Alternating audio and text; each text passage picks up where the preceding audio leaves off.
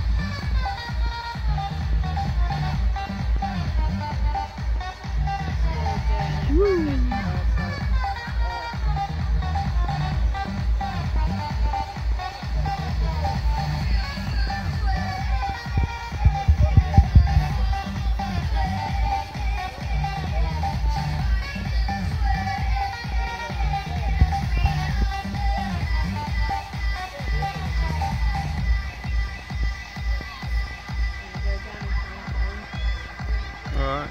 I'll probably go back upstairs.